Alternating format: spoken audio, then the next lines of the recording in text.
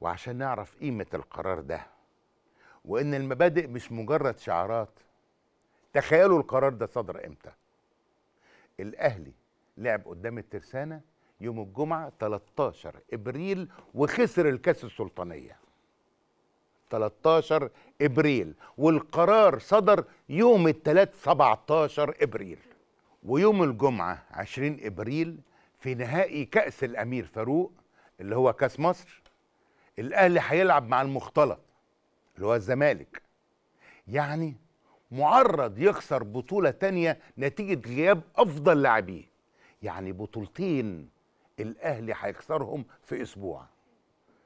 لكن الأهلي ما التفتش للبطولة وخسارتها والكلام ده لأن في الأهلي المبادئ فوق البطولات.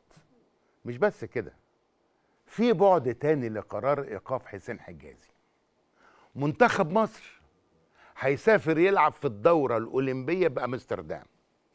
يعني المنتخب هيتأثر بغياب رئيس الفريق وأفضل اللاعبين حسين حجازي.